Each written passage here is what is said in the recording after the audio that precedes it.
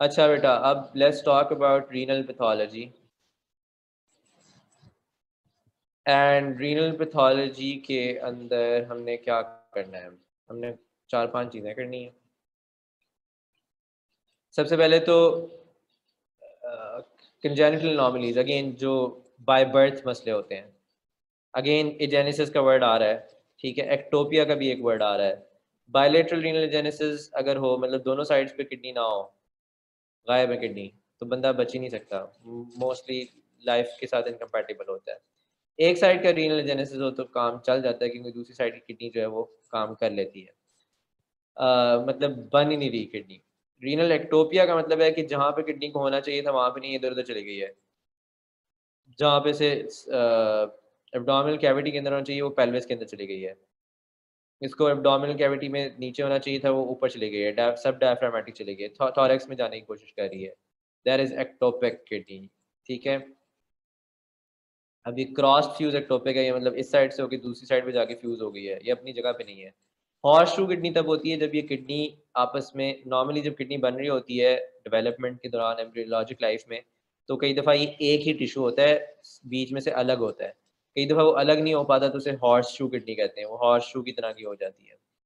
इसके अलावा नॉर्मल आपको दिखाया हुआ है। साइनोमिलिया ये होता है जब दोनों लेग्स फ्यूज हों, इसे मरमेड सिंड्रोम भी कहते हैं। बच्चे की दोनों लेग्स फ्यूज हों तो उसकी वजह से साइनोमिलिया हो जाता है। ठीक है। इसके अलावा अक्टॉपिक किडनी का आपको बता रहे हैं। इलियक किडनी हो सकती है पेल्विक हो सकती है थोरेसिक हो सकती है इधर उधर जा रही है। और इसके अलावा यूरिटर की क्या एनॉमलीज हो सकती हैं? क्योंकि हम पूरा रीनल सिस्टम कर रहे हैं तो यूरिटर डुप्लीकेट हो सकता है, एक से ज़्यादा यूरिटर हो गए। यूरिटर सील बन सकती है, वो फूल जाता है, उसके अंदर जमा हो जाता है फ्लोइड एक्टॉपिक यूरिटर मतलब जहाँ पे उसने जाना था, उस जगह नहीं जा रहा। मैगेलो यूरिटर काफ़ी बड़ा यूरिटर सो नॉर्मल ये यूरिटर सील ये है कि यहाँ पे कोई ब्लॉकेज वगैरह है तो उसकी वजह से पीछे जो है, ये पूरी एक कैविटी बन रही है, बजाय इसके कि ट्यूब रहे, एक ह्यूज कैविटी सी बन गई है। डबल पेल्विस मतलब किडनी की अंदर जो पेल्विस होती है वो दो है। बायफेड यूरिटर मतलब यूरिटर दो हैं। बायफेड यूरिटर कई दफ़ा इतना भी हो सकता है कई दफ़ा एंड तक दो जा सकते हैं मतलब ब्लैडर तक। फिर एक्टॉपिक यूरिट्रिक ऑरिफिस मतलब नॉर्मली यूरिटर ने इधर एंटर होना है, लेकिन यहाँ पे जो यूरिटर है वो यूरिथ्रा में एंटर हो रहा है ब्लैडर की ब्लैडर के अंदर एंटर होने की बजाय। मिगैलो यूरिटर बहुत बड़ा यूरिटर है। पोस्ट केवल यूरिटर मतलब नॉर्मली यूरिटर जो है वो वेना केवा वेना केवा के सामने से गुजर रहा होता है। लेकिन यहाँ पे ये पीछे से गुजर रहा है तो that's post caval ureter so ये सारे की सारी डेवलपमेंटल एनॉमलीज होती हैं। अब यूरिटर नॉर्मली एंटर इस तरह से होता है ब्लैडर में, लेकिन अगर यूरिटर इसकी बजाय ब्लैडर के अंदर एंटर होने की बजाय यूरिथ्रा में एंटर हो तो there is ectopic ureteric orifice मतलब यूरिटर का जो सुराख है, वो कहीं और जाके खुल रहा है। सो ये यूरिटर की एबनॉर्मलिटीज़ हो सकती हैं। सो ये इस तरह की मुख्तलिफ़ कंजेनिटल नॉर्मलीज होती हैं, जिनके बारे में आपको बताना चाहिए। कैसे होती हैं? ये एम्ब्रियोलॉजी का मेन पार्ट है। एम्ब्रियोलॉजी में अगर आप पढ़ोगे इनको कि बनते बनते क्या मसला होता है तो आपको तब पता चलेगा। बारह हम उधर नहीं जा रहे ज़्यादा। अब जो सबसे ज़्यादा इंपॉर्टेंट इस लेक्चर का कॉन्सेप्ट है, जो आपको अच्छी तरह से समझना है और जिसके बारे में आपसे पूछा जाएगा और जिसके बारे में आपको नहीं छोड़ा जाएगा, ये मैं जो चीज़ें जो बता रहा होता हूँ ना साथ साथ इसको नोट कर लिया करो। Because I will ask you about this वो ग्लोमरुलर डिज़ीज़ का कॉन्सेप्ट है। ग्लोमुलर डिजीजेस में दो तरह के डिजीजेस होते हैं, एक नेफ्रोटिक सिंड्रोम और एक नेफ्राइटिक सिंड्रोम या नेफ्रिटिक सिंड्रोम नेफ्रोटिक और नेफ्रिटिक सिंड्रोम का डिफरेंस समझना बड़ा ज़रूरी है। और कुछ बीमारियाँ हैं जो नेफ्रोटिक सिंड्रोम के अंदर आती हैं, कुछ बीमारियाँ जो नेफ्रेटिक सिंड्रोम के अंदर आती हैं, और कुछ बीमारियाँ जो ओवरलैप करती हैं। नेफ्रेटिक सिंड्रोम में nephritic nephritic itis itis itis का मतलब इन्फ्लेमेशन इन्फ्लेमेशन होती है नेफ्रॉन्स की या ग्लोमुलाई की, ठीक है? उसमें एक्यूट पोस्ट स्ट्रेप्टोकोकल ग्लोमेरुलाइटिस है रैपिडली प्रोग्रेसिव है बर्ड डिज़ीज़ है एल्फोर्ड सिंड्रोम है डिफ्यूज प्रोलिफरेटिव है है। जो नेफ्रोटिक सिंड्रोम है उसमें बेसिकली पोडोसाइट्स का स्ट्रक्चर जो है वो डैमेज होता है मेनली ठीक है? और उसके बाद वो सिंड्रोम बनता है काफ़ी बड़ा। उसके अंदर उसके अपने भी होती है focal segmental membranous minimal change amyloidosis diabetic और बाकी ये दोनों। सो so, ये सारी की सारी ग्लोमुलर नेफ्रोपैथीज जो हैं ये थोड़ी ओवरलैप भी करती हैं। और दोनों में प्रोटीनूरिया होता है यानी कि जब भी यूरिन बनता है तो उसके अंदर प्रोटीन को बचाना होता है यूरिन का काम। प्रोटीन बॉडी से निकलने नहीं देता। प्रोटीन को निक, को निकलने से बचाने के लिए कुछ चीज़ें इंपॉर्टेंट होती हैं। और वो क्यों प्रोटीन और आ, वो प्रोटीन क्यों ज़रूरी होती है निकलने से? क्योंकि आपकी बॉडी को उसकी ज़रूरत है। वो वो वो यूजलेस मटेरियल नहीं है। उसको उसको अगर वो अगर नॉर्मली निकलना शुरू हो जाए पेशाब में तो फिर तो बड़ा मसला हो जाएगा। आप, आपका प्रोटीन मास कम होना शुरू हो जाएगा। प्रोटीन आपकी बॉडी के अंदर कम होना शुरू हो जाएगी? तो नेफ्रोटिक सिंड्रोम और नेफ्रेटिक सिंड्रोम में दोनों में प्रोटीन यूरिया होता है।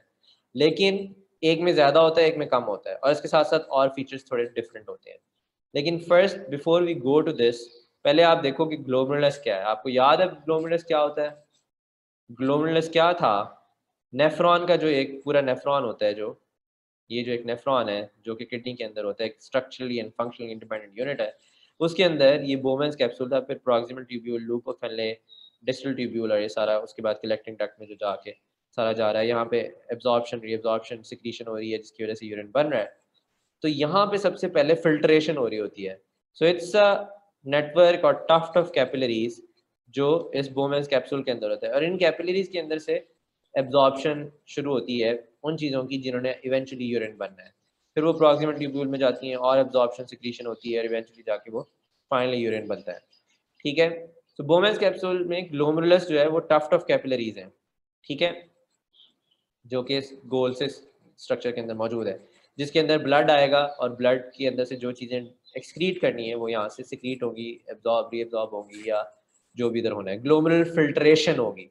यानी कि यहाँ पे फ़िल्टर होगा ब्लड जो बाहर जाएँगे अच्छा अब इसके अंदर क्या चीज़ इंपॉर्टेंट है? ग्लोमरलस अंदर कैसे नज़र आता है? अच्छा ये तो आगे एफरेंट और एफरेंट और ईफरेंट आर्टीरियोल्स जो ब्लड लेके आ रहे हैं, लेके जा रहे हैं। और फिर उसके बाद ग्लोमलाई के ये जो कैपिलरीज हैं, ये कैसी होती हैं? एक तो अंदर वाली साइड पे एंडोथीलियल सेल्स होते हैं, जो कि सारी कैपिलरीज के अंदर होते हैं, ठीक है? फिर बाहर वाली साइड पे ग्लोमुलर बेसमेंट मेम्ब्रेन होती है, ठीक है? और इसके बाद इसके बाहर पोडोसाइट्स होते हैं। और ये पोडोसाइट है एक और इसका फुट प्रोसेस है, ठीक है? पोडोसाइट्स जो हैं बेसिकली इनका काम ये होता है कि सारा कुछ फ़िल्टर नहीं होने देते। कुछ चीज़ें फ़िल्टर हो गई यहाँ से एंडोथीलियम में से गुजर गई बेसमेंट मेम्ब्रेन में से गुजर गई सेमी परमिएबल बेसमेंट मेम्ब्रेन होती है। लेकिन पोल्डोसाइट्स जो आगे फिर रोकते हैं। पोल्डोसाइट्स अक्सर जो है वो प्रोटीन को भी यहाँ पे रोकना शुरू कर देते हैं। जो मेजर प्रोटीन है, वो पोल्डोसाइट्स रोकते हैं उसको कि वो नहीं निकले यहाँ से। ठीक है? सो अगेन आपको यहाँ पे दिखाया हुआ है इस तरह से ईफ्रंट एफ्रंट आर्टीरियल्स आ रहे हैं। और पोडोसाइट्स हैं, उनके फुट प्रोसेस हैं बेसमेंट मेम्ब्रेन रहे एंडोथीलियम में अगर आपको और दिखाया जाए एक पोडोसाइट के लेवल पे जाके सो ये एंडोथीलियल सेल है, ठीक है, ये ग्लोबुलर बेसमेंट मेम्ब्रेन है, और ये एल्ब्यूमिन ये एक प्रोटीन की टाइप है। तो ये अब आप देखो एल्ब्यूमिन का साइज़ देख रहे हो, ये इतना बड़ा साइज़ है। अब ये पोडोसाइट्स के जो फुट प्रोसेस है, ये पोडोसाइट है ये उसके पावर है? जो पोडोसाइट के फुट प्रोसेस हैं, उनमें से एल्ब्यूमिन जो है वो बाहर नहीं निकलने देंगे। बाकी चीज़ें छोटी छोटी यहाँ से निकल जाएँगी, लेकिन एल्ब्यूमिन को बचा लेगा वो, ठीक है? तो ये इसलिए मैं आपको बता रहा हूँ कि नेफ्रोटिक सिंड्रोम के अंदर पोडोसाइट्स का जो स्ट्रक्चर है, जो फ़ूड प्रोसेस है, ये डिसइंटीग्रेट होना शुरू हो जाते हैं। ठीक है? ये उस तरह से नहीं रहते जिस तरह से इनको रहना चाहिए। यहाँ मैं आपको दिखाता हूँ। पोडोसाइट ये देखो, ये एंडोथीलियम है, ये बेसमेंट मेम्ब्रेन है, ये पोडोसाइट है, ये पोडोसाइट की फुट प्रोसेस है। नॉर्मली यहाँ से प्रोटीन ने वापस चला जा रहा था क्योंकि वो आगे फ़िल्टर नहीं हो सकती। लेकिन यहाँ से जब इसके जो मैकेनिज्म है, जो पैथोजेनेसिस हुआ एंटीबॉडी कॉम्प्लीमेंट आया है और साइटोकाइन आए टॉक्सिन आए जो भी रीजन है, वो जो मुख्तलिफ़ बीमारियाँ करवाती है, जो सारे के सारे नाम है ये, ठीक है? वो जो, जौन से भी रीजन है, बहुत सारे रीजन होते हैं। इटियोलॉजी और पैथोजेनेसिस का काफ़ी लंबा चौड़ा होता है।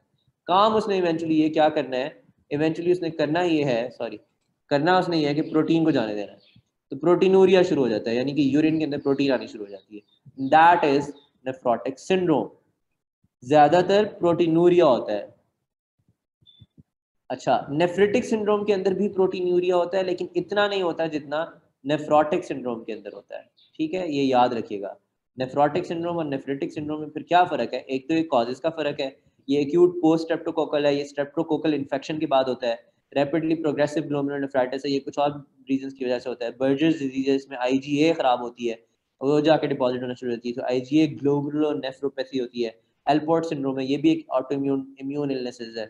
फिर उसके अलावा फोकल सेगमेंटल ग्लोमेरुलोस्क्लेरोसिस है मेम्ब्रेनस नेफ्रोपैथी है मिनिमल चेंज डिज़ीज़ है एमाइलॉइडोसिस है ये भी एक बीमारी है जो सिस्टमिक इलनेस है लेकिन किडनीज में भी इम्पैक्ट करती है। डायबिटिक ग्लोमेरुलर नेफ्रोपैथी है as you can say diabetes की वजह से जो मसला होता है फिर diffuse and membranous proliferative glomerular nephritis है उनके बारे में हम बात करेंगे। सो so, नेफ्रोटिक और नेफ्रेटिक में फ़र्क क्या होता है? नेफ्रोटिक में प्रोटीनूरिया ज़्यादा है। नेफ्रोटिक रेंज 3.5 ग्राम से ज़्यादा निकल जाता है हर 24 घंटे के अंदर। इसके अंदर कम होता है 3.5 ग्राम से कम होता है नॉन सेलेक्टिव प्रोटीनूरिया कम कम निकलता है। इसके अंदर एडीमा ज़्यादा होता है रिटेंशन होती है वाटर की और हाइपोएल्ब्यूमिनीमिया हो जाता है।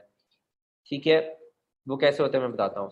हाइपरलिपिडीमिया होता है लिपिड ज़्यादा बनना शुरू हो जाता है और प्रोटीन कास्ट होती है। मतलब इतनी ज़्यादा प्रोटीन होती है कि उसकी पूरी की पूरी एक बड़ा सा सिलेंडर बना हुआ या कुछ मुख्तलिफ़ शेप्स में वो प्रोटीन कास्ट आपको यूरिन में नज़र आती हैं।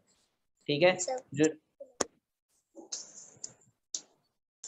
जो नेफ्रेटिक सिंड्रोम है उसके अंदर हेमेचूरिया होता है। बड़ी इंपॉर्टेंट चीज़ है नेफ्रोटिक और नेफ्रेटिक के डिफरेंस के बीच में एक तो प्रोटीन नोरिया कम होता है। उसके अलावा हेमेचूरिया होता है यानी ब्लड नज़र आता है। जब ब्लड आता है यूरिन में that is mostly nephritic syndrome ठीक है फिर ओलिग्यूरिया होता है। अच्छा एक सेकंड दीजिएगा। ठीक है। अच्छा फिर जो ओलिग्यूरिया होता है ओलिग्यूरिया का मतलब होता है कि ओलिग्यूरिया का मतलब ये होता है कि जो यूरिन है। माइक बंद कर लीजिए। अच्छा जो ऑलिग्यूरिया होता है उसमें क्या होता है? उसमें यूरिन कम आता है। ठीक है? ज़रूरत से।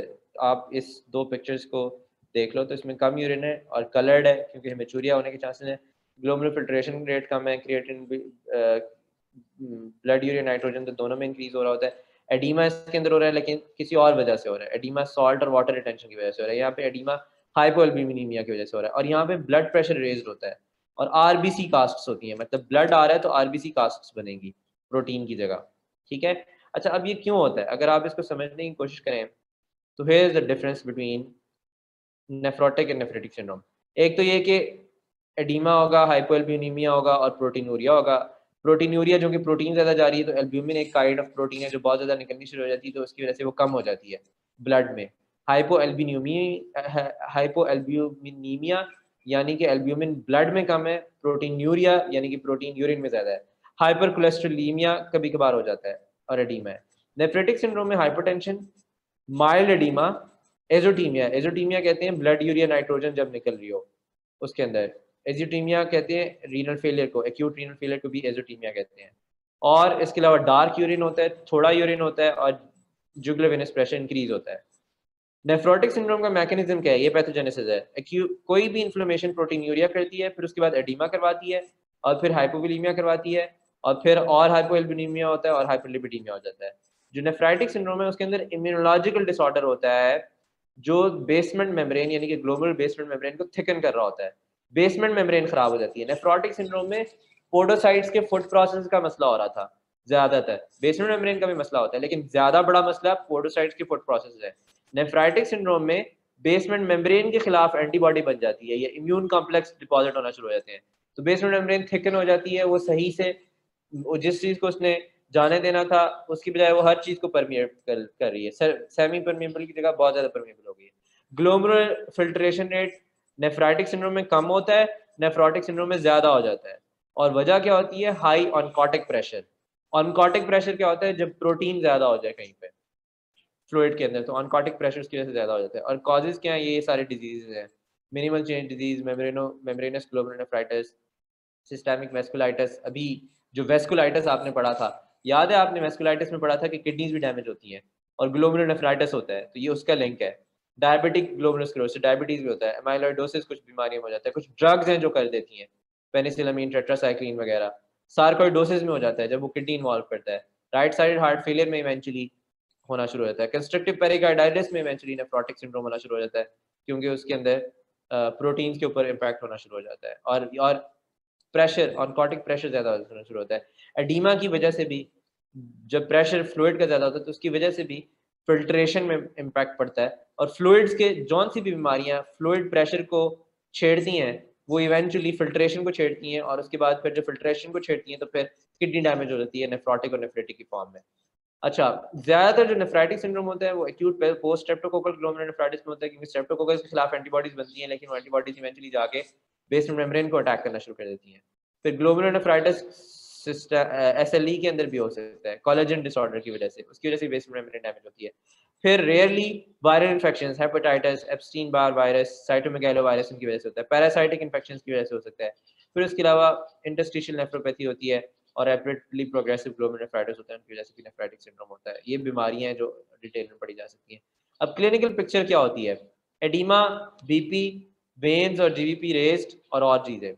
एडीमा क्यों होता है? नेफ्रोटिक में ज़्यादा एडीमा होता है नेफ्राइटिक में कम होता है। नेफ्रोटिक में मैसिव एडीमा होता है, क्योंकि हाइड्रोस्टेटिक प्रेशर ज़्यादा इंक्रीज होता है। ऑनकॉटिक प्रेशर के मुकाबले में।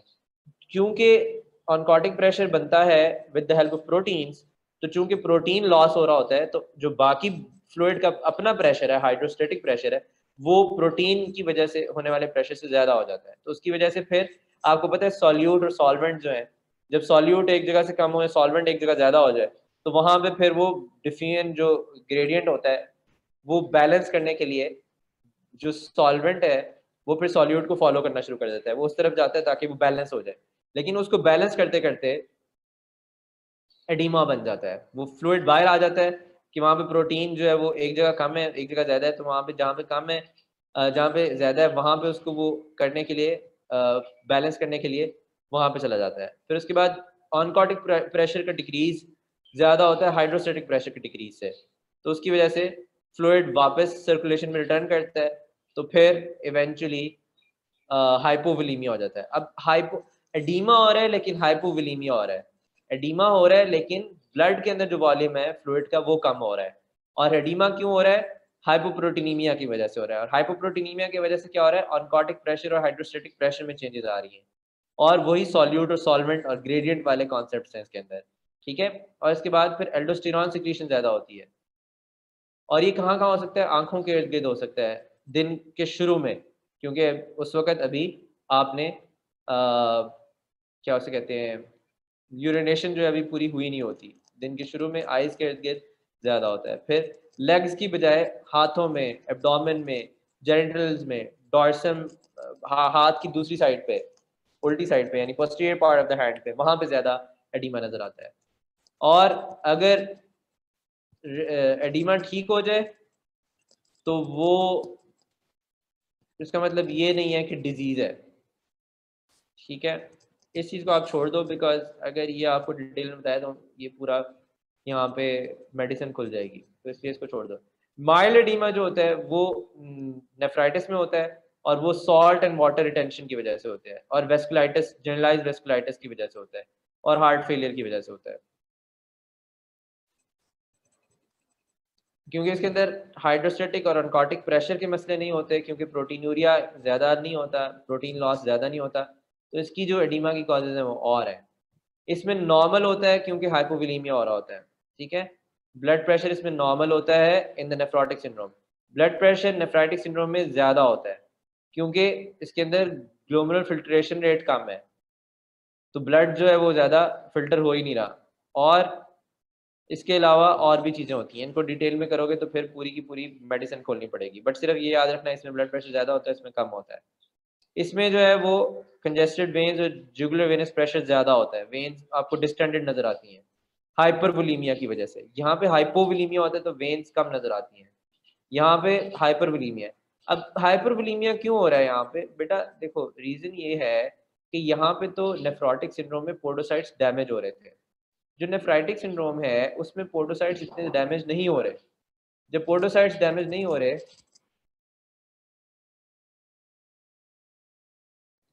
जो पोडोसाइट्स डैमेज नहीं हो रहे नेफ्रोटिक सिंड्रोम के अंदर, किधर गया यार? सॉरी नेफ्राइटिक सिंड्रोम के अंदर जब पोडोसाइट्स डैमेज नहीं हो रहे तो ज़्यादा प्रोटीन लॉस नहीं हो रहा। ज़्यादा लॉस नहीं हो रहा उसके अंदर। जब ज़्यादा लॉस नहीं हो रहा तो फिर वाटर भी कम बाहर निकल रहा है तो रिटेंशन हो रही है। रिटेंशन हो रही है तो उसकी वजह से हार्ट फेलियर हो जाता है। और इसकी वजह से जब लॉस नहीं हो रहा फ्लूड का ज़्यादा तो ब्लड प्रेशर भी ज़्यादा हो रहा है। जब फ्लूड का लॉस नहीं हो रहा तो वेन्स भी फूल रही हैं। यहाँ पे फ्लूड का लॉस भी हो रहा है, हर चीज़ का लॉस हो रहा है तो हाइपोविलीमिया हो रहा है। एडीमा ज़्यादा हो रहा है। वेन्स एम्प्टी होती जा रही है, क्योंकि सारे का सारा फ्लूड तो निकल गया है, ठीक है? और जो फ्लूड रहा था, वो सारे का सारा टिश्यूज में चला गया एडीमा हो गया ठीक है? सो ये फ़र्क है नेफ्रोटिक और नेफ्रीटिक के अंदर ज़्यादा बड़ा। और इसके अलावा नेफ्रोटिक के अंदर हाइपर कोलेस्ट्रीनिया और लिपिड्यूरिया हो जाता है। और नेफ्राइटिक के अंदर फीवर वगैरह और पेन होती है। इसके अंदर पेन वगैरह नहीं होती। और दूसरी चीज़ नेफ्राइटिक के अंदर होती है वेरी इंपॉर्टेंट वो डार्क यूरिन या नेफ्राइटिक के अंदर हिमेचूरिया यानी कि ब्लड जो निकलता है, वो एक इंपॉर्टेंट चीज़ है। जो हाइपर कोलेस्ट्रोलीमिया है, या जो लिपिड का ज़्यादा होना है नेफ्रोटिक सिंड्रोम के अंदर, वो कंपेंसेटरी है। जब बॉडी देखती है ना कि प्रोटीन निकली जा रही है और अनकॉटिक प्रेशर जो है वो कम होता जा रहा है तो बॉडी क्या करती है, उसकी जगह कोलेस्ट्रॉल ज़्यादा निकालना शुरू कर देती है लिपिड ज़्यादा करना शुरू कर देती है। लेकिन वो भी फिर यूरिन में निकलना शुरू हो जाता है। तो बॉडी के अंदर कंपेंसेटरी हाइपर कोलेस्ट्रोलीमिया हो जाता है। सो नेफ्रोटिक सिंड्रोम में अगर आपने इसके सिम्टम्स याद रखने तो पेल एक मैकेनिज्म है जिसके थ्रू आप सिम्टम्स याद कर सकते हैं। पेल से क्या बनता है ये पढ़ लो, मैं एक सेकंड में आया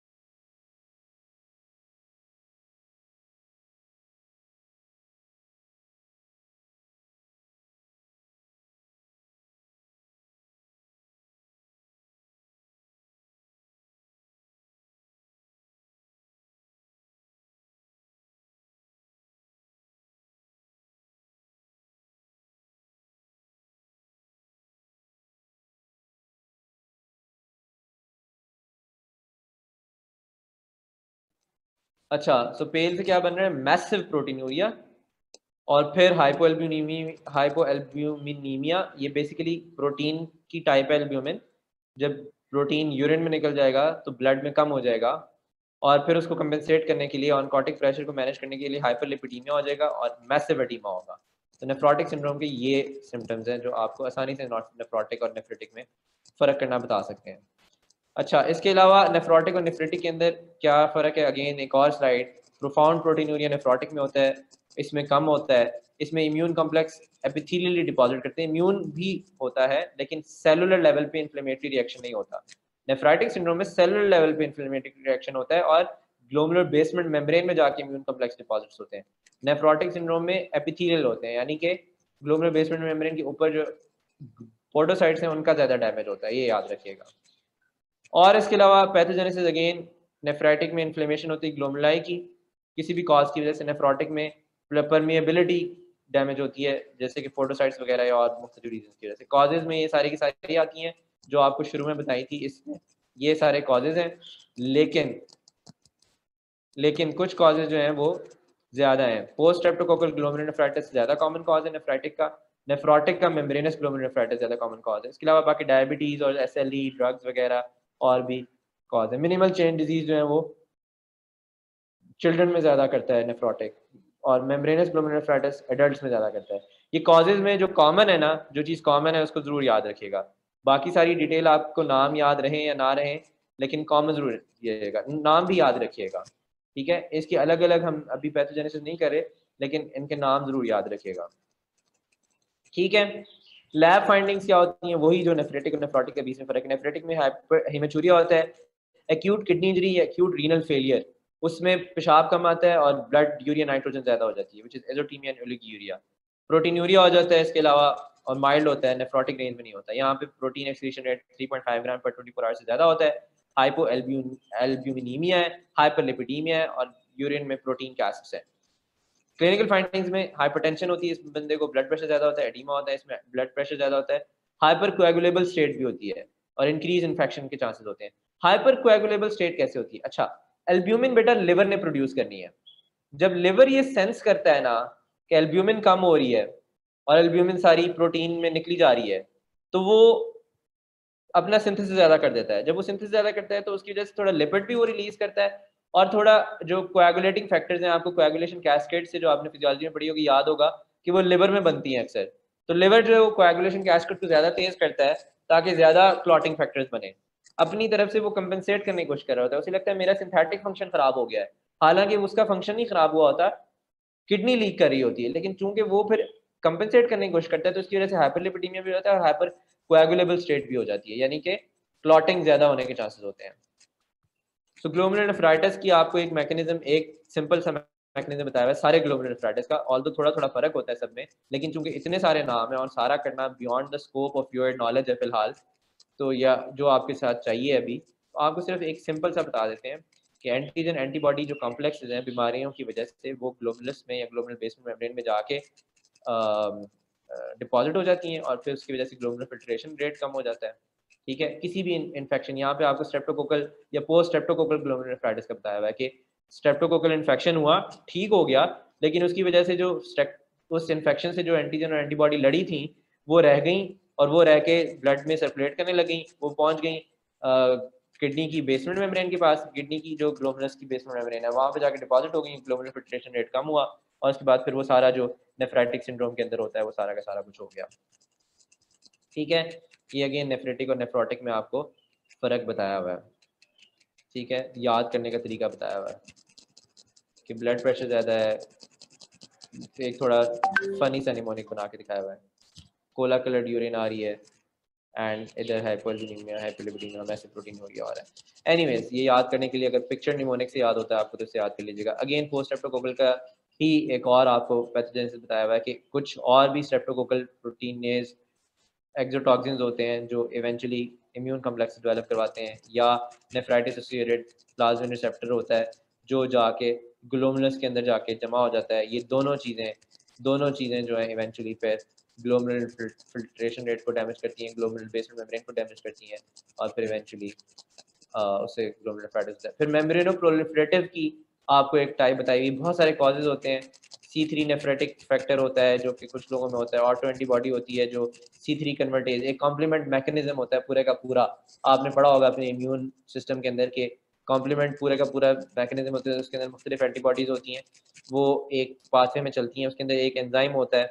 वो अगर एंजाइम डैमेज हो जाए तो उसकी वजह से फिर वो प्रोटीन कंपोनेंट ज़्यादा, वो एंटीबॉडी ज़्यादा होना शुरू हो जाती है, या वो कॉम्प्लीमेंट जो है वो डैमेज होना शुरू हो जाता है सिस्टम और फिर वो इवेंचुअली जाके जमा होना लगना शुरू हो जाता है इवेंचुअली इस बेसमेंट मेम्ब्रेन के ऊपर जमा होना शुरू होता है बेसमेंट मेम्ब्रेन को बीच में से स्प्लिट कर देता है और स्प्लिट स्प्लिट करके वहाँ पे जो जमा हुआ होता है वो ट्रैम ट्रैक्स ऐसे लगते हैं जैसे एक पूरा ट्रैक है ग्लोबल बेसमेंट मेम्ब्रेन के अंदर, वो जमा हुआ हुआ है, वो बना हुआ है तो वो ट्रैम ट्रैक अपीयरेंस होती है उसकी और मेम्ब्रेनो प्रोलिफरेटिव नेफ्रेटिक भी होता है और नेफ्रोटिक भी होता है depending on the membrane depending on the proteinuria levels ठीक है?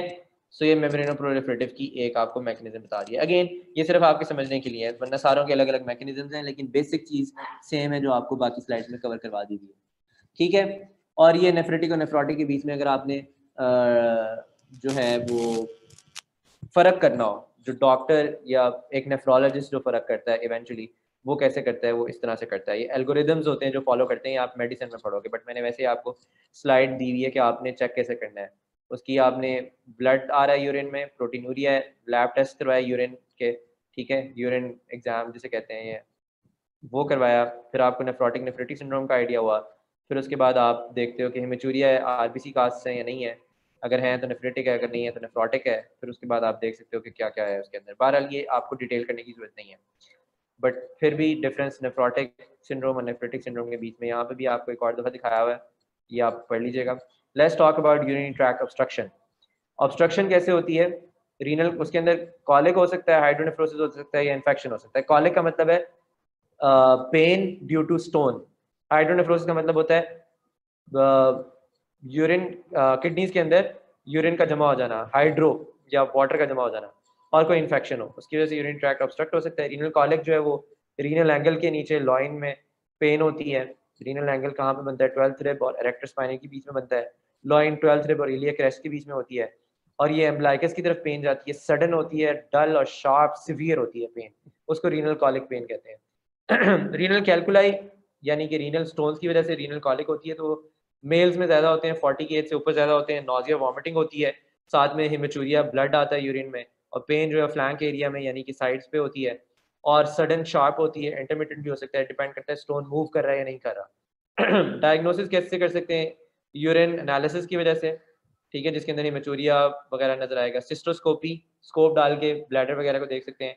इंट्राविनस पायलोग्राम एक्सरे कर सकते हैं after inserting dye in the kidney system urine ureter और ब्लैडर सारा का सारा नज़र आता है उसके अंदर। रीनल स्टोन एनालिसिस कर सकते हैं किडनी यूरिन ब्लैडर का एक्सरे करवा सकते हैं।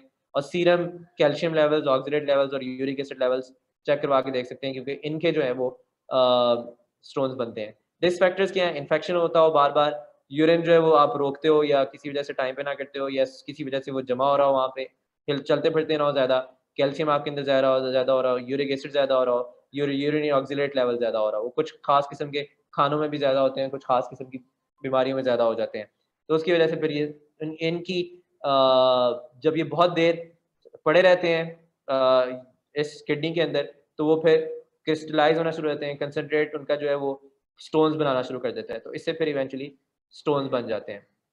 हाइड्रोनेफ्रोसिस में क्या होता है कि ब्लैडर एम्प्टी नहीं हो रहा और जब ब्लैडर एम्प्टी नहीं हो रहा किसी वजह से आगे किसी भी वजह से आगे ब्लॉकेज है। यूरिथ्रा का ब्लॉकेज है या यहाँ पे कोई कैंसर हो रहा है या ट्यूमर हो रहा है तो उसकी वजह से ब्लैडर एम्प्टी नहीं हो रहा। तो प्रेशर जो है वो यूरेटर से होता होता पीछे चला जाता है और फ्लूड बनना भरना शुरू हो जाता है किडनी के अंदर। देर इज़ हाइड्रोनेफ्रोसिस ठीक है? सो so, ये हाइड्रोनेफ्रोसिस का मैकेनिज्म है ये कैलकुलाई का मैकेनिज्म आपको मैंने बता दिया कि स्टेसिस की वजह से इन केमिकल्स की या इन कंपाउंड्स uh, की जो है इवेंचुअली वो डिपोजिशन शुरू हो जाती है क्रिस्टलाइजेशन शुरू हो जाती है जिसकी वजह से वो स्टोन में ट्रांसफ़र हो जाता है। और जो हाइड्रोनेफ्रोसिस है वो बायोलेटरल भी हो सकता है और यूनिलेटरल भी हो सकता है। बायोलेटरल में आगे कोई ना कोई ऑब्स्ट्रक्शन है। मिसाल के तौर पे प्रोस्टेट ग्लैंड एनलार्ज हो रहा है जो कि अक्सर बूढ़ों में हो जाता है या कैंसर हो रहा है प्रोस्टेट का। तो वो यूरिथ्रा के पास होता है प्रोस्टेट तो वो उसको आ, क्या उसे कहते हैं कंप्रेस करता है और ब्लैडर फिर पूरी तरह से एम्प्टी नहीं हो सकता तो फिर पीछे की तरफ़ जो है वो फ्लूड बिल्डअप होना शुरू हो जाता है। यूरिलेटरल हाइड्रोनेफ्रोसिस में आ, किसी वजह से कैलकुलस आ गया यहाँ पे ठीक है? एक साइड पे मिसाल के तौर पे एक साइड की किडनी जो है वो कैलकुलस आ गया और वो किडनी डिटोरिएट होना शुरू हो रही है क्योंकि पीछे जो है वो टॉक्सिन्स जमा होना शुरू होते हैं क्योंकि निकालना है ना सारा कुछ डिब्री वगैरह जो भी आपकी चीज़ें ज़रूरी नहीं है बॉडी के अंदर रखने के लिए वो डैमेज करना शुरू कर दिए किडनी को तो फिर कंपनसेटरी किडनी जो है दूसरी इनलार्ज हो जाती है जब वो इनलार्ज हो जाती है तो उसकी वजह से वहाँ पर फिर फ्लूड भी ज़्यादा आता है। तो वो यूनिलेटरल हाइड्रोनेफ्रोसिस होता है। तो कैलकुलस वगैरह की या स्टोन की वजह से ऑब्स्ट्रक्शन हुई किडनी डिटोरिएट हुई, एक साइड की दूसरी साइड के काम ज़्यादा करना शुरू किया, वो ज़्यादा बड़ी हो गई और हाइड्रोनेफ्रोसिस हो गया यूनिलेटरल और यूरिन ट्रैक्ट इन्फेक्शन होते हैं। यूरिन ट्रैक्ट इन्फेक्शन किस किस तरह के होते हैं? सिस्टाइटिस पायलोनेफ्राइटिस सिस्टाइटिस में क्या होता है? Inflammation of the urinary bladder pyelonephritis में inflammation of the bladder plus the urinary tubules तो इसमें यूरिनी फ्रीक्वेंसी ज़्यादा होती है बार बार जाना पड़ता है, जल्दी जाना पड़ता है एजेंसी होती है सुपरा प्यूबिक पेन होती है जहाँ पे ब्लैडर होता है और बर्निंग सेंसेशन होती है यूरिनेशन पे और ब्लड ब्लीडिंग होती है फीवर होता है नोजिया होता है वॉमिटिंग होती है फीवर हर इन्फ्लेमेशन में अक्सर हो सकती है। पायलोनेफ्राइटिस में जो कि किडनी के अंदर की जो ट्यूब्यूल्स वगैरह हैं, उनकी इन्फ्लेमेशन है, उसमें फ्लैंक पेन होती है डिसयूरिया होता है मतलब यूरिन करते हुए प्रॉब्लम और कॉस्टोवर्टिब्रल एंगल पे पेन होती है which is again an angle here at the level of जो अभी आपको मैंने दिखाया था यहाँ पे रीनल uh, एंगल के पास कॉस्टोवर्टिब्रल एंगल होता है वो अगेन कॉस्टो का मतलब है वर्टिब्रा सॉरी कॉस्टो का मतलब है रेब्स और वर्टिब्रा के बीच में एक एंगल बनता है वहाँ पे पेन होती है।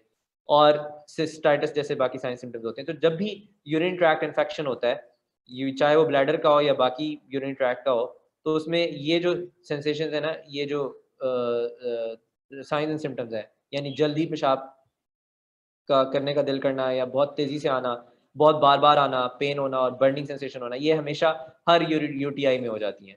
तो यूरिन इन्फेक्शन के आगे टाइप्स हैं। और डायग्नोसिस क्या होता है? डिप स्टिक करके देखो कि कोई ल्यूकोसाइड ईस्ट्रेस तो नहीं है, यानी कि कोई इन्फेक्शन जब बैक्टीरिया आके इन्फेक्शन करते होते हैं तो वो उन, एक जो है वो एक एंजाइम रिलीज़ करते हैं, उसे ल्यूकोसाइड ईस्ट्रेस एंजाइम करते हैं। जब आप यूरिन के अंदर एक वो खास स्टिक होती है, उसको डिप करके देखते हैं तो वो ल्यूकोसाइड ईस्ट्रेस को पिक कर लेती है डाई चेंज करके। वो केमिकल रिएक्शन होता है उसके अंदर तो उससे आपको पता चल जाता है, ये यूरिन एनालिसिस करो कल्चर करके देखो। फिर उसके बाद एंटीबायोटिक्स वगैरह लो। और इसके अलावा और भी सिम्टोमेटिक रिलीफ होते हैं प्रिवेंशन वगैरह होती है आप बाद में ट्रीटमेंट में देख सकते हैं। इसका करना ज़रूरी नहीं है। लास्ट चीज़ सेकंड लास्ट चीज़ नेफ्रोकैल्सिनोसिस है। यानी कि कैल्शियम डिपोजिशन होनी शुरू हो जाती है किडनी के अंदर। और इसकी वजह क्या होती है? ब्लड के अंदर किसी वजह से हाइपर हाइपरकैल्सीमिया हो जाए, उसकी बहुत सारी कॉजेज हो सकती हैं। मिसाल के तौर पे जो एंडोक्रिनो एंडोक्रिनोलॉजी है या एंडोक्राइन सिस्टम है, वो आपका डैमेज होना शुरू हो जाए और पैराथायराइड ग्लैंड का कोई फ़ंक्शन डैमेज हो तो उसकी वजह से कैल्शियम मेटाबॉलिज्म में फ़र्क पड़े, मिसाल के तौर पे। सो हाइपर पैराथायराइडिज्म की वजह से हाइपर कैल्सीमिया होता है और हाइपर कैल्सीमिया फिर कैल्शियम ज़्यादा डिपॉजिट होनी शुरू होती है, जो कि इवेंचुअली नेफ्रोकैल्सिनोसिस इवेंचुअली स्टोन्स बना सकती है। और मिल कैलकली सिंड्रोम एक चीज़ होती है, जो इसकी वजह से भी नेफ्रोकैल्सिनोसिस हो सकता है। फिर यूरोलिथियासिस क्या होता है? अगेन स्टोन्स लिथियासिस का मतलब होता है स्टोन्स कैलकुलाई का मतलब भी होता है स्टोन्स तो कैलकुलाई जो है, यूरोलिथियासिस का मतलब है यूरिन ट्रैक में कहीं पे भी स्टोन हो, चाहे वो यूरिटर में हो, चाहे वो किडनी में हो, चाहे वो ब्लैडर में हो। मेल्स में ज़्यादा होते हैं और टाइप्स होती हैं depending on the type of chemical compound जिसके स्टोन्स बन रहे हैं, जिनकी कंसनट्रेशन से वो स्टोन्स बन रहे हैं। और कैसे बन रहे होते हैं? वो आपको इस स्लाइड में बताया था कि इन्फेक्शन होने की वजह से या यूरिन स्टेसिस की वजह से, यूरिन की किसी वजह से वहाँ पर रुका हुआ है? हाइड्रोनेफ्रोसिस में मिसाल के तौर पे, यूरिन एक जगह रुका हुआ है फ्लूड बिल्डअप हो रहा है तो वहाँ पे इमोबिलिटी की वजह से और बाकी इन कॉजेज की वजह से हाइपरगलिसीमिया वगैरह की वजह से स्टोन्स बनते हैं कैल्शियम स्टोन्स हो सकते हैं एमोशियम एमोनियम मैग्नीशियम फॉस्फेट स्टोन्स होते हैं यूरिक एसिड के स्टोन्स होते हैं सिस्टीन के स्टोन्स होते हैं। इसके अलावा एक टाइप ऑफ़ डिज़ीज़ होता है किडनी का, उसे सिस्टिक किडनी डिज़ीज़ कहते हैं। सिस्टिक डिज़ीज़ की टाइप्स पढ़ लो, मुख्तलिफ़ रीजन की वजह से होती है कंजेनिटल होती है मेनली मतलब जीन्स की वजह से हेरिटरी होता है adult polycystic infantile polycystic disease simple एक सिस्ट मेडलरी सिस्ट इसको मेडलरी स्पॉन्ज डिज़ीज़ मेडला जो मेडला है, आपको पता है किडनी के अंदर एक मेडला होता है कॉर्टेक्स होता है मेडला के अंदर सिस्ट है या पूरी किडनी के अंदर सिस्ट है, उसकी वजह से ये फ़र्क होता है। सो सिंपल सिस्ट एक सिस्ट होगी किडनी में कहीं पे बनी हुई, और मल्टीपल सिस्ट जो होंगी सिस्ट इज़ एन एनकैप्सुलेटेड गोल स्ट्रक्चर ठीक है?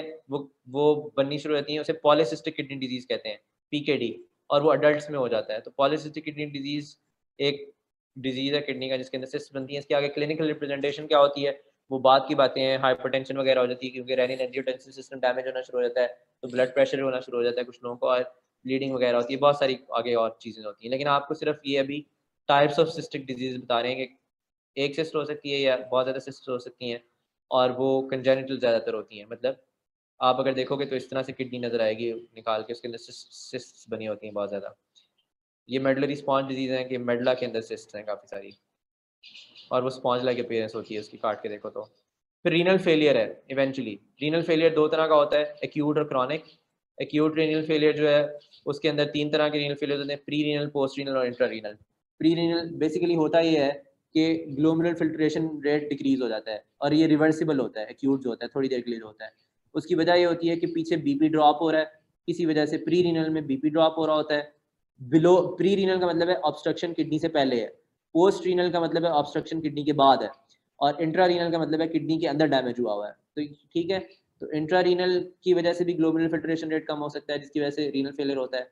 और इसमें फिर क्या होता है? इवेंचुअली एजोटीमिया होता है और क्रिएटिनिन ज़्यादा हो जाती है। तो क्रिएटिनिन ज़्यादा निकलनी शुरू हो जाती है और ब्लड यूरिया नाइट्रोजन ज़्यादा हो जाता है। जब आप यूरिन एनालिसिस करके देखेंगे या सॉरी जब आप ब्लड एनालिसिस करेंगे, जब आप लैब टेस्ट करेंगे तो उसके अंदर ब्लड यूरिया नाइट्रोजन ज़्यादा होगी क्योंकि वो नहीं निकल रही होगी बॉडी से, क्योंकि सिक्रीशन सही नहीं हो रही। ग्लोबल फिल्ट्रेशन रेट डिक्रीज हुआ हुआ है। फिल्ट्रेशन सही नहीं हो रही। और क्रिएटिनिन भी नहीं रिलीज़ हो रही होगी क्योंकि वो भी ग्लोबल फिल्ट्रेशन रेट कम होने की वजह से नहीं नज़र आ रही। सो एक्यूट रीनल फेलियर में जब ये दो चीज़ें होंगी तो उसके ये कॉजेज हो सकते हैं। प्री रीनल पोस्ट रीनल और इंट्रा रीनल प्री रीनल के अंदर पीछे से कोई आर्थ्रोस्क्लेरोसिस हो रहा है स्कीमिया हो रहा है, जिसकी वजह से बीपी कम हो रहा है ब्लड आ ही नहीं रहा। ब्लड आ नहीं रहा तो फिल्ट्रेशन क्या होगी? तो फिर उसकी वजह से किडनी डैमेज होगा। इंट्रारीनल में इन्फ्लेमेशन हुई हुई है किडनी की इन्फेक्शन हुआ है ग्लोमरुलनेफ्राइटिस की सारी टाइप्स एक्यूट रीनल फेलियर करवा सकती हैं। और ड्रग कोई है जो डैमेज करी किडनी को या कोई ऑटोम्यून डिज़ीज़ है, वो इंट्रारीनल कॉज पोस्ट रीनल जो है, वो ऑब्स्ट्रक्शन होती है यूरिन फ्लो की। अब वो यूरिन फ्लो की ऑब्स्ट्रक्शन स्टोन्स की वजह से हो सकती है। इंजरी की वजह से हो सकती है ट्यूमर की वजह से हो सकती है प्रोस्टेट की इंक्रीज होने की वजह से हो सकती है तो उसकी वजह से भी पीछे जो है फिल्ट्रेशन जो पूरी तरह से नहीं होगी क्योंकि आगे प्रेशर बहुत ज़्यादा है ठीक है तो फिल्ट्रेशन पे डैमेज होगा। सो so, ये इस तरह वजह इन चीज़ों की वजह से एक्यूट रीनल फेलियर हो सकता है। अगेन कॉजेज आपको और बताए हुए प्री रीनल में ब्लड प्रेशर किसी भी वजह से डिक्रीज हो सकता है और ब्लड प्रेशर के डिक्रीज होने को शॉक कहते हैं और फिर इंट्रा रीनल कॉजेज हो सकते हैं मुख्तलिफ़ और पोस्ट रीनल आपको ऑलरेडी बताया है। क्रॉनिक रीनल फेलियर में क्या होता है? Glomerular filtration rate 90 millimetre per minute से ज़्यादा होता है। मतलब बहुत देर तक के लिए किडनी डैमेज होती रहे होती रहे होती रहे होती रहे। तो फिर क्रॉनिक रीनल फेलियर हो जाता है। तो और वो डैमेज लंबी बीमारियों की वजह से होता है। जैसे रीनल आर्टिस्टिनोसिस है डायबिटीज़ है या हाइपरटेंशन है तो उसकी वजह से ये होना शुरू हो जाता है। उसकी वजह से फिर हेडेक्स होती हैं नॉक्चूरिया होता है, रात को बार पेशाब आता है पॉलीयूरिया होता है बी और क्रिएटिन ज़्यादा हो जाती है again G F R twenty five percent रह जाता है नॉर्मल का, ये भी कम हो जाता है। एनीमिया होना शुरू हो जाता है क्योंकि किडनी डैमेज होती है। किडनी डैमेज जब होती है तो एरिथ्रोपोइटिन बनाती होती है किडनी एरिथ्रोपोइटिन जो है वो आरबीसीज बनाने में हेल्प करती है। जो आरबीसीज बनाने में हेल्प नहीं होगी तो एनीमिया हो जाएगा और वीकनेस और फटी होगी। ऐसे लोग पीले पीले से होते हैं क्योंकि उनके अंदर ब्लड भी कम होना शुरू हो जाता है मतलब हीमोग्लोबिन कम होना शुरू हो जाती है और उनका एरिथ्रोपोइटिन डैमेज की वजह से किडनी डैमेज की वजह से होना शुरू हो जाता है। और कॉजेज क्या हो सकते हैं? लंबी देर ग्लोमेरोफ्राइटिस रहे, लंबे इन्फेक्शन रहे, लंबी देर ऑब्स्ट्रक्शन हो लंबी देर डैमेज हो, लंबे मसले हो, ठीक है? पॉलिसिस्टिक किडनी डिज़ीज़ हो इंटस्टिशन नेफ्राइटिस हो पायलोनेफ्राइटिस हो लंबा लंबा, ठीक ही ना हो रहा हो। उसकी वजह से फिर क्रॉनिक रीनल फेलियर होता है, करना क्या पड़ता है? फिर इनको डायलिसिस देना पड़ता है। Chronic renal failure eventually end stage renal disease में चेंज हो जाता है। एंड स्टेज रीनल डिज़ीज़ की डेफिनेशन ये है कि उसमें G F R fifteen millimetre millilitre से कम हो जाता है। इसमें जो है glomerular filtration rate chronic renal failure में 25 परसेंट रह जाता है नॉर्मल का। और फिर इवेंचुअली सारी चीज़ें डैमेज हो जाती है। किडनी जब डैमेज होती है किडनी एक ऐसी चीज़ है, क्योंकि उसने पूरे के पूरे जिसम को संभाला होता है, सारे के सारे अंदर टॉक्सिन्स पूरे के पूरे ब्लड से टॉक्सिन्स वो निकाल रहा होता है। तो जब ब्लड के अंदर टॉक्सिन्स नहीं होंगे ब्लड साफ़ नहीं होगा तो फिर न्यूरोलॉजिकल वीकनेस भी शुरू हो जाएगी कन्फ्यूज़न भी शुरू हो जाएगी कार्डियोवेस्कुलर चीज़ें भी शुरू हो जाएँगी बीपी ज़्यादा होना शुरू होगा एडिमा होगा पेरिकार्डाइटिस होगा पल्मनरी मसले शुरू हो जाएँगे जीआई के मसले शुरू हो जाएँगे साइकोलॉजिकली बंदे के मसले शुरू हो जाएँगे। ब्लड के हेमेटोलॉजिकल मसले शुरू हो जाएँगे स्किन खराब होनी शुरू हो जाएगी मस्कुलोस्केल्टल प्रॉब्लम शुरू हो जाएँगे, क्योंकि सारी की सारी चीज़ें किडनी से लिंक्ड होती हैं, ठीक है? इस वजह से सारी डिटेल करने की ज़रूरत नहीं है beyond the scope of your knowledge for now ठीक है? लेकिन क्रॉनिक रीनल फेलियर में ये चीज़ें होती हैं, इनको ज़रूर अपने माइंड में रखिएगा, ठीक है? इसके बाद रीनल ट्यूमर्स होते हैं रीनल ट्यूमर्स किस किस तरह के होते हैं? बिनाइन होते हैं एडिनोमा एनजियोमायो लाइपोमा और मिलिग्नेंट जिसमें रीनल सेल कार्सिनोमा होता है विल्स ट्यूमर होता है transitional cell carcinoma squamous cell carcinoma ये ज़्यादातर ब्लैडर में होता है, ये किडनी के अंदर होता है। ठीक है? बस ये याद रखिएगा इसके अंदर। एंड दैट्स इट आपके करने की चीज़ें सिर्फ़ ये हैं। एक्यूट रीनल फेलियर के कॉजेज़ क्रॉनिक रीनल फेलियर के अंदर क्या क्या होता है और उसके आगे कॉजेज़ और उसकी आगे जो एंड स्टेज रीनल डिज़ीज़ में बाकी सिस्टम्स पे क्या इम्पैक्ट पड़ता है ये? कौन कौन से सिस्टम्स पे इम्पैक्ट पड़ सकता है? और सबसे ज़्यादा इंपॉर्टेंट सबसे ज़्यादा इंपॉर्टेंट जो चीज़ करने वाली है इसके अंदर, वो नेफ्रोटिक और नेफ्रेटिक सिंड्रोम है। ठीक है? थोड़ा मुझे इसको जल्दी करना पड़ा है बिकॉज़ पहले लेक्चर में बाकी चीज़ें डिस्कस हो रही थी। तो होपफुली आप लोगों ने समझ लिया होगा। अगर कोई चीज़ नहीं समझी तो मुझे बता दीजिएगा। ठीक है?